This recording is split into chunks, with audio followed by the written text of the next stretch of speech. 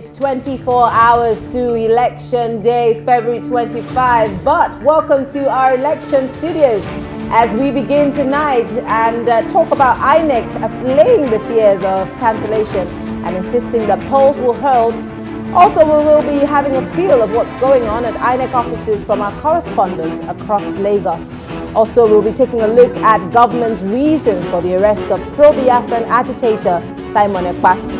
And we'll be talking about the effects of violence on the outcome of the elections. I am Mary Anacon. Welcome to the ballot.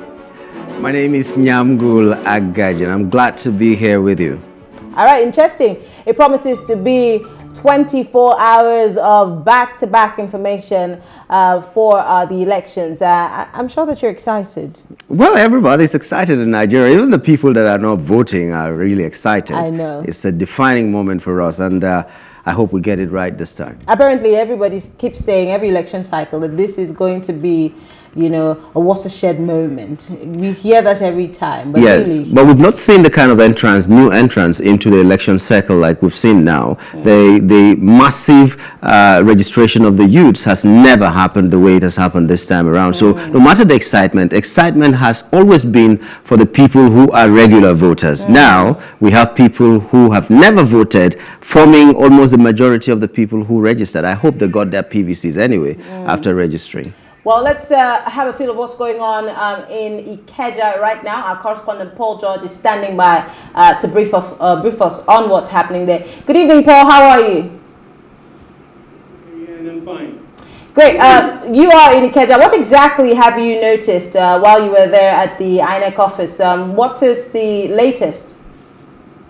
Okay, when we got to Ikeja GRA, the INEC office, you know, we met a lot of corps members and ad hoc staff, you know, who um, have been gathered here, you know, to move to different wards of this um, for the election tomorrow. You know, the INEC um, electoral officer here in Ikeja, um, Gabriel Tyre, you know, when I spoke to him, I asked him how prepared are they, and he explained to me, he said they are well prepared for this election.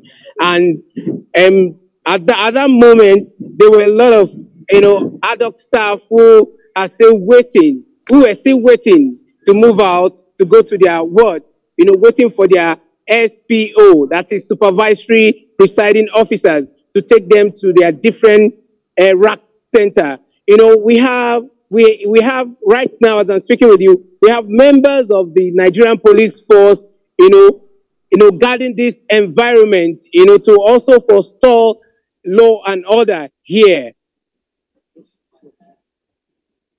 Well, yeah, yeah, go, go ahead. ahead. Oh, Paul, um, right now you are at the INEC office, right?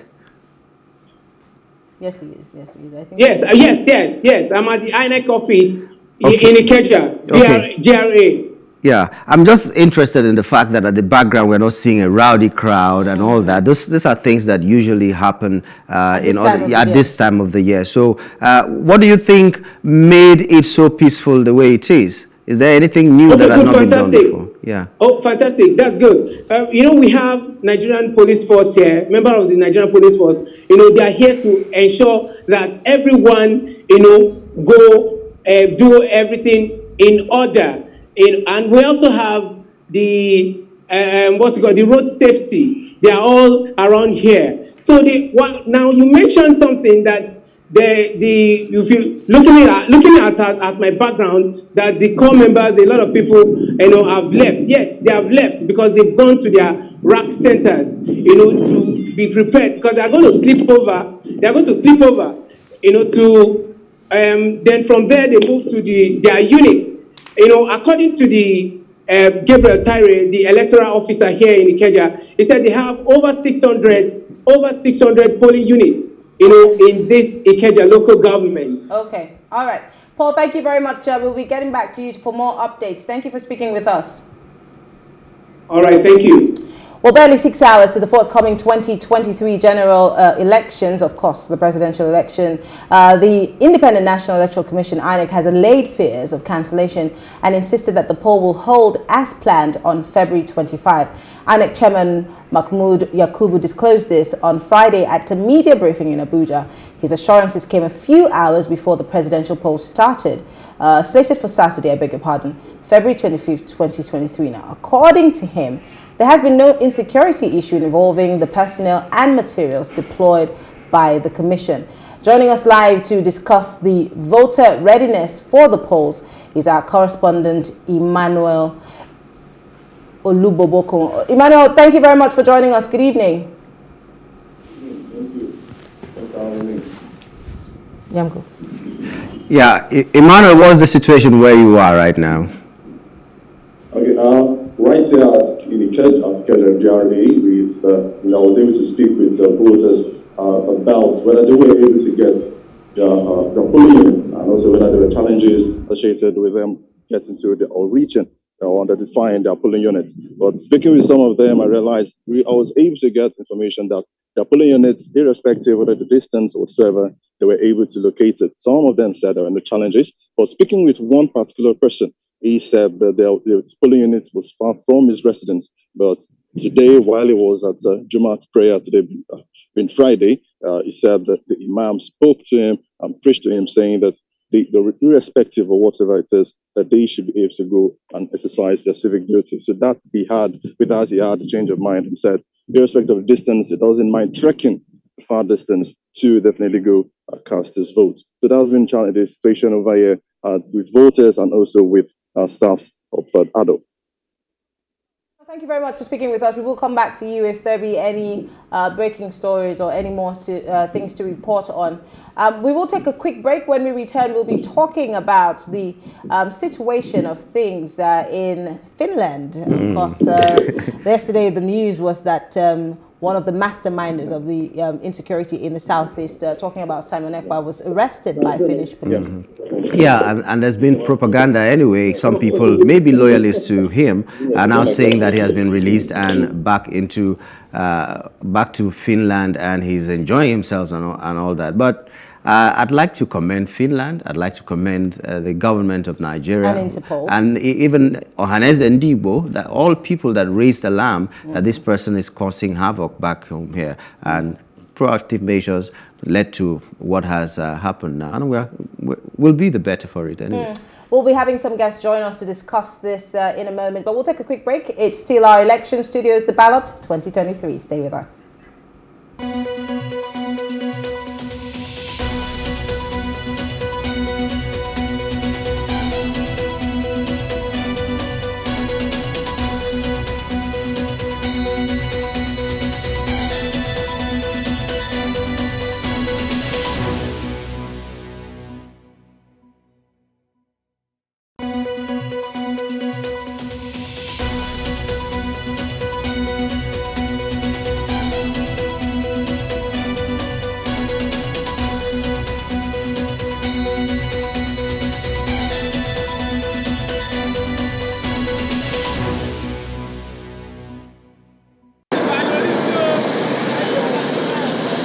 It is unusually traffic free here. Plus, TV News catches up with some Nigerians who give different reasons for wanting to cast their ballots. Why not? Why not? You can see I'm just coming back from work and I have my PVC to vote for the candidate I want. You can see. Yeah. So I'm praying, let the God help us and reach the, the final day for the election. And I will know the candidate I will vote. I'm not someone that is actually scared. Whatever comes up, whatever it might be, I will stand and vote. In so many years, I haven't casted a vote, but this time around, I am definitely going to cast my vote. I'm not scared of anything. I'll come out and vote. We should be ready for change. Uh, we can't continue here. We can't continue like this. Else we keep on going Where? in circle. We have to change the order, like seriously. If not, Nigeria will just continue suffering. There has been a high level of preparation towards the elections, especially from the part of the election umpire, INEC. Many believe this is a chance to have a Nigeria of their dream, as for the first time the country is adopting an electronically conducted federal elections. The change in this country, I'm actually tired of the way things are going. Uh, the situation is, nah, it's not really for me. It's about, you know, everybody seems to be leaving the country because things are not going well. But those of us that have not had the opportunity to probably leave should stay back and do the needful. The good things come with a bit of inconvenience. And uh, what you look at is the intent behind it. Is the intent just to suffer, uh, make the masses suffer? Quite right, the masses are suffering because of it. But if it will help us curtail vote buying, if it will, it, it will help uh, put those corrupt politicians in check, desperados in check, so be it. I will come out to vote. Well, for the cashless uh, policy now, that's the reason why we are stuck full in the house for the family issue. So well, after the election, maybe with for free and fair election. You understand? But I wish Nigeria all the best. And this time, accrediting voters and voting will take place simultaneously with the use of the BVAS machines. The stakes are high. Destin Mama, Plus TV News.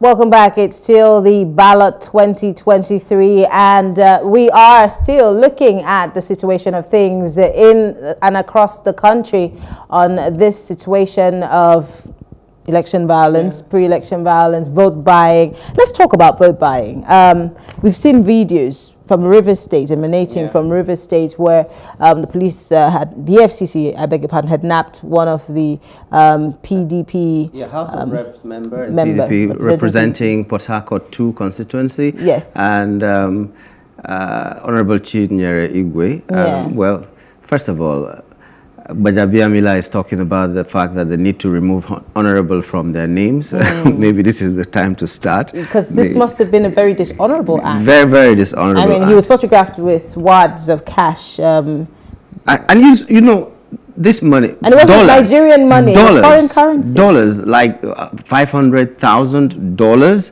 and we are suffering the way we're suffering. We've seen another video uh, just this evening about uh, where someone was trying to buy votes here in Lagos State, watts on watts of money, uh, new 1,000 naira notes. Exactly, the money so much money, money that we cannot even find 5,000 to mm -hmm. withdraw, and people, the sharks now the POS sharks are taking advantage and and destroying businesses, destroying lives, as it were. Unfortunately, uh, it's not their fault, but we're not going to get into that conversation because you see, they also have to buy the we money won't to even sell finish. to. We won't even Nobody finish. would have thought that in 2023 you would need to buy naira with naira. Yeah, we, we're asking how much is exchange rate in your, in your area? naira to naira. It's not even dollars. Mm. It's it's really disheartening. And yeah, to, very, to very think that some people are just holding think, this money. And, and I think um, what's most disheartening about the Honorable Chinyere Igwe situation is that he's an honorable member of the House of yeah, Assembly, yes. uh, the National Assembly, I beg your pardon. He's a, a member of the People's Democratic Party. Which is ruling in River which, State. Which is ruling in River State. And one would think that um, being that um, Governor Wike is um, called, um, you know, the Mr. Projects, and that the state would mm. not have to worry, uh, the government would not have to worry about vote buying. But this is a situation that uh, we're looking at today, unfortunately. Well, uh, and another thing is um, INEC defines vote buying as inducement, Inducement. using in on that day of the election. And I think that's a very shallow uh, definition of Yes, that because vote I have seen a lot of um, pundits speak about this issue of vote buying, and, and they say vote buying has already occurred. It has, it has started. day.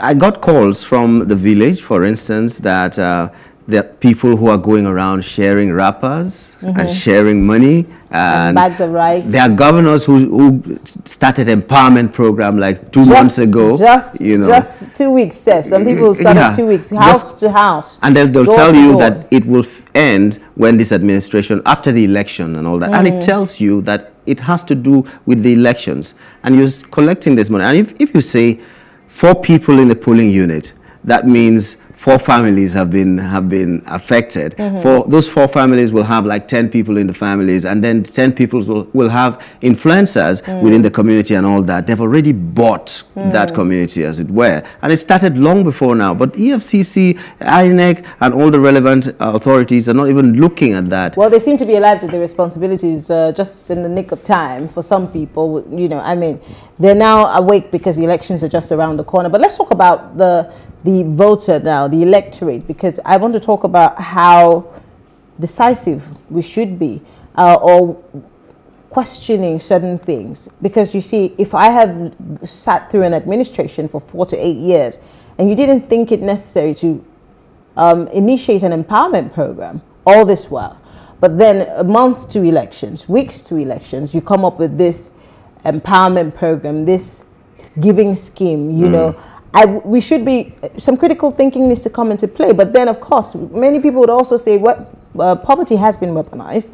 And so, I mean, the Well, other I, person. I don't I don't buy the poverty thing. Exactly. But then there are people who have that school of thought that, oh, poverty has been weaponized. If you're a hungry person and you see food, you're definitely going to jump on it. What if that food is laced with poison? Should I not think first before I die? I, I you know, I jump in. It, I think when we talk about po- poverty, we shouldn't be talking about poverty, cash poverty, material poverty. It's a Uh, well, poverty of the of the mind. mind. Yeah, because I've seen people who who park their vehicles, for instance, and come to struggle for twenty thousand that was thrown into a crowd. But you're Mm. parking your car. Mhm. That means you are well-to-do before you Mm. can have a car, and then you're Mm. still struggling with the people that people are saying are poor.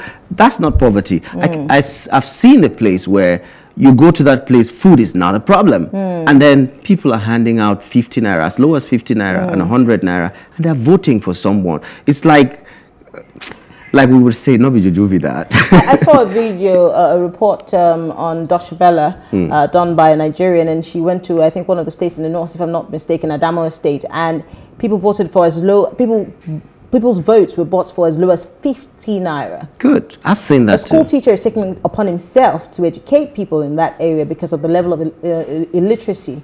Um, but then, of course, he's he's also not just blaming it on ignorance. He's blaming it on the fact that people um, have, like you said, have poverty, a poverty mindset. Yeah. Um, and it's not that they they do not know that what they're doing is wrong, but they feel that that's the only hope that they have. And his duty is to, um, one way or the other, um, change that mindset. And he's doing it every day. He's telling people that 50 naira is unable to even buy you a plate of food or the meat that you would eat in the food, let alone take you for four years. So, what happens after the election? Are you able to see these people? Are they accessible to you? Can you call them to order? Can you ask for accountability if you've taken 50 naira? Because it's literally put a plaster or a sellotape over your lips. At this point, I think the elitist class have not, has not done enough to educate everybody because if, if your mind is educated enough, your brain is educated enough, uh, someone said education makes you uh, unfit to be enslaved. Mm. So uh, if your mind's, mind is educated enough, you are sh- supposed to be the person to take this evangelism, as, as it Mm. were, to the villages and all that, because this is where it actually happens. You can't expect someone to buy votes for even 5,000 naira in VI, for instance. You, you won't. Oh, but you will be shocked because there are people who, the people who are giving these monies, the people who are foot soldiers to these so-called politicians. Yeah. It shocked. It, it'll shock you that they're people like you and me. Yeah, but they're not people- giving to the people in VI. They Yeah, will but- go and but give to the I'm people. saying. And unfortunately, say this is where you, you find the population. ourselves It's- because we're we're not, the we're problem. Not, we're not doing enough. We know what's right, but we'd rather, because of whatever Greed. reasons, Greed. yes, enable these so-called, um, you know, corrupt politicians. So really, how ready are we for that change? We are not re- really ready because uh, in the 2019 election, there were a lot of people that that are now fighting wars in the social media uh, with themselves. Some of them actually contested.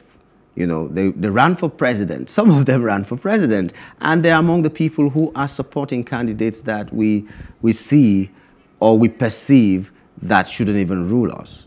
So how are these people sincere to the people? Are they there for personal interest or they really wanted to help our nation?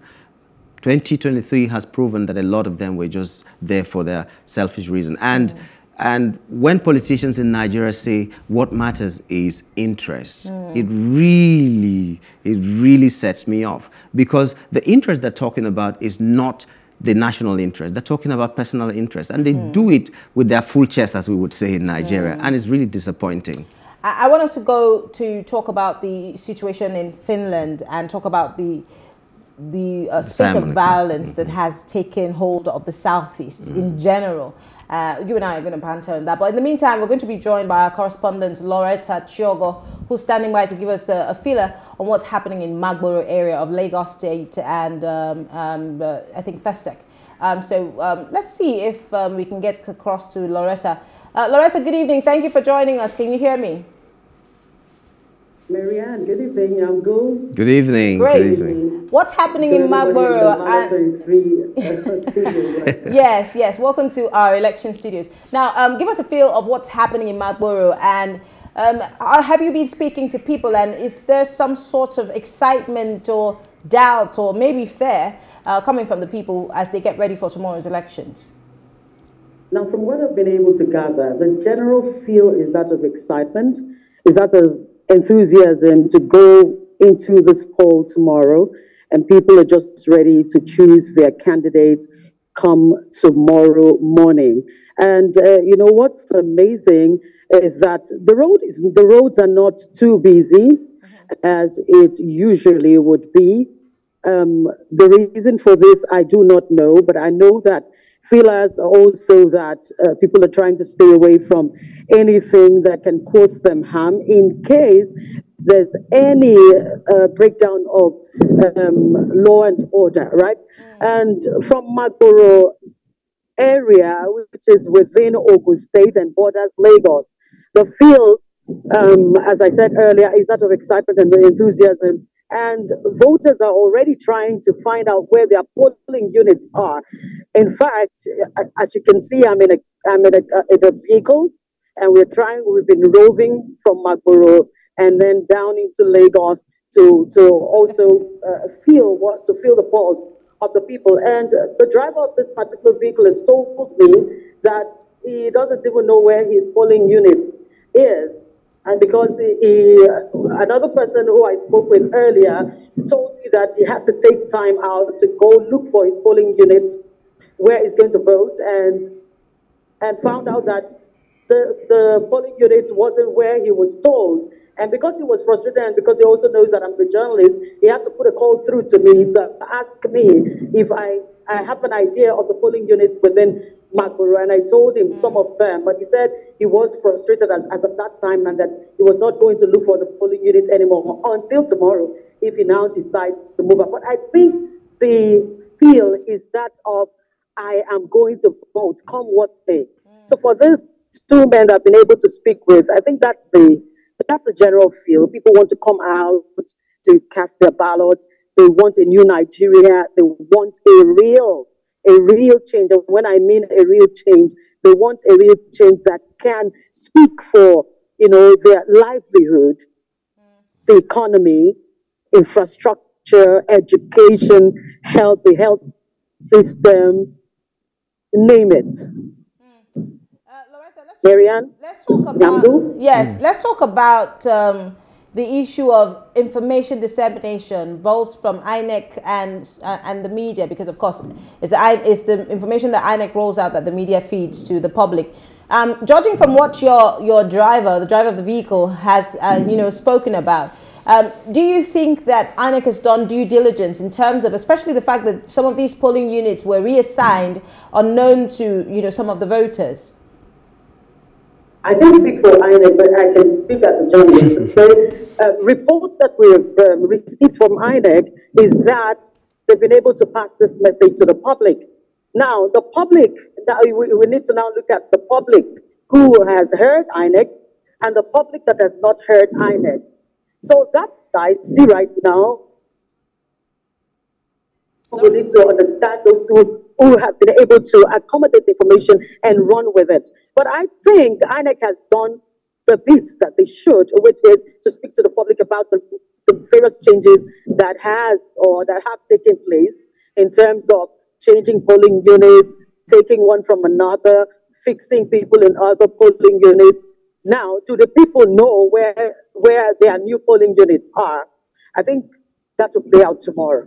We'll see more of that tomorrow because right now what we can see is that people are just trying to find out where their exact polling units are and to identify with the place to, to be uh, satisfied that it is trackable. Because again, distance is another issue. Um, somebody told me that if the polling unit is too far from where he lives, he may not, may not to go to cast his ballot. But of course, these people are being encouraged to say, look, you are called for a change. You have said um, your vote would count. So no matter the distance, I think you should do that as a sacrifice for Nigeria and for your generation and future generations to come. Well, Loretta, we look forward to um, some of the things that will be covered tomorrow yeah. and all of the information that will be coming from the different places that you go to and the polling units. Thank you so much. We appreciate that's, it. That's right. And I think you can identify me with my face cap. So, thank you. So, I'm not a security threat. I need to put this out now. I'm not a security threat. I'm a journalist and my face cap identifies. Yes. I'm, I'm sure by the time you start speaking English, they definitely yeah, Stay safe wherever you are, Loretta. Stay safe wherever you are, Loretta. Thank you very much. Thank you. Sure. Okay, she touched on something about yes, uh, the roads being the roads being free, and uh, it didn't start this evening. It started even in the morning, the morning when we're yes. coming to work. Everywhere was very free, and the, mm. the, vehicles were moving. I think we owe that not just to security, but we owe that to the fact that I, that's what I want to believe that people are spending the time looking for where they're supposed to go and vote, and some of them are resting so that tomorrow yeah, might be a long day. Most of them have traveled to their different yes, polling units. to their different polling units. Yes. So, so that's that explains why the roads were like that. So let's believe. Yeah. And we had a security expert this morning who said yeah. that from all indications, tomorrow will be relatively very peaceful. And and and we all want to believe that because we we have no reason to believe that there would be any chaos or um, you know, um, uprisings or riots. I don't think it's necessary because I think the average voter is ready to cast their votes peacefully and make sure that it counts. We'll take a quick break. It's still our election studios, the ballot 2023. I'm sure people are wondering, where's the plus politics? it's right here. And this is where we have, this is what we have metamorphosed into. until elections are over. We'll take a quick break and when we come back, we'll talk about Finland. And then, of course, we will be joined by um, um, an, uh, an, election um, uh, consultant who's going to talk to us about the issue of violence before, during, and after elections and how it could affect uh, the country. Stay with us.